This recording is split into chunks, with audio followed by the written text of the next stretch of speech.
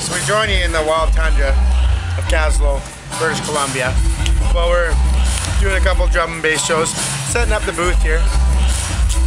It'll be a good time. Look at this setup.